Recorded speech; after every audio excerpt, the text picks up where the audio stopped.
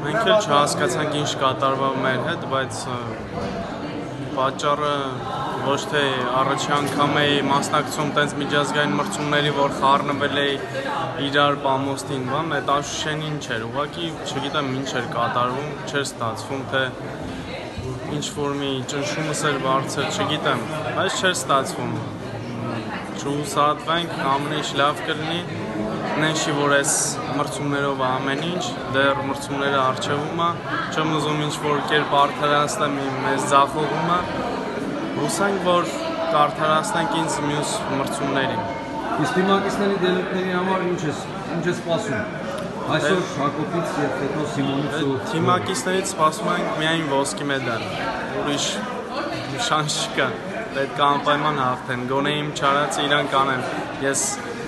ամենակչով կարող էի դառնալ աշխարհի չեմպիոն, բայց չստացվեց։ Գոնե իրանց մոտ ստացվի։